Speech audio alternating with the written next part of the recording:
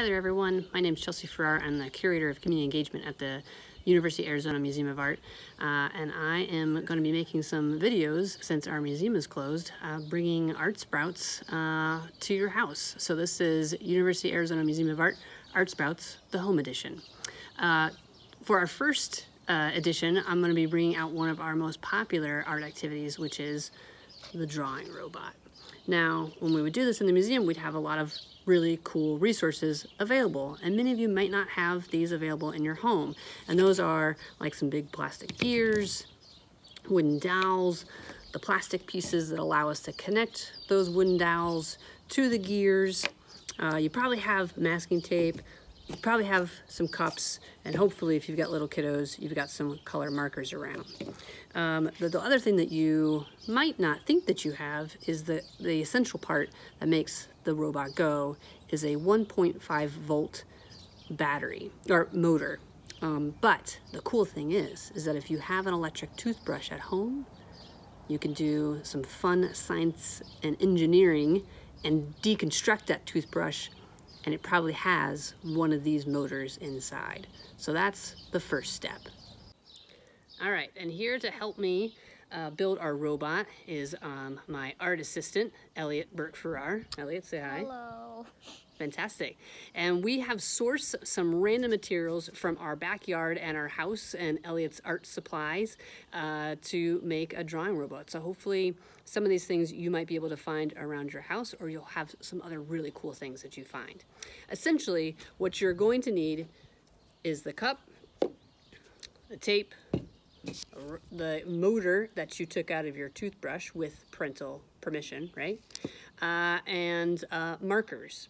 Uh, and then you'll need a power source, right? So usually a uh, double A battery is what will power the 1.5 volt battery. Um, and then what makes the robot move and move in really fun ways is by experimenting with the balance, how things are balanced from one side to the next, where you place heavy materials taped onto the, um, onto the cup. Um, and then also some really fun things for decoration. So we have just found some sticks from our backyard, some shells, some rocks, some grass, uh, and some fun bottle caps. Um, so let's see what we can create.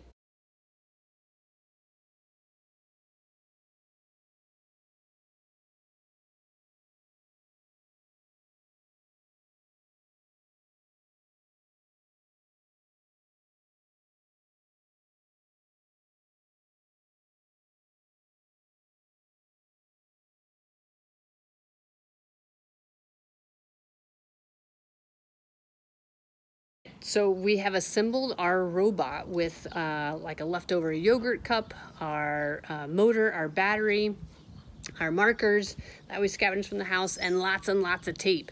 Uh, so we are pre-decoration phase, and this is essentially our prototype uh, robot that we've done some trial and error to see about how balance affects how it moves, how it vibrates, uh, and which colors, which legs actually touch the ground more.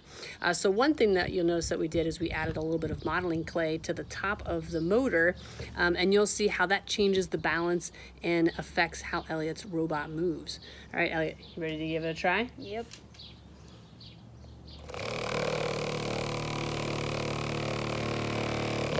Yay! All right, last step is you have to name your robot. What's this robot's name? Doodle Doodle Robots. All right, that's us. That's it from us at our Art Sprouts Home Edition, and uh, we'll see you with our next video.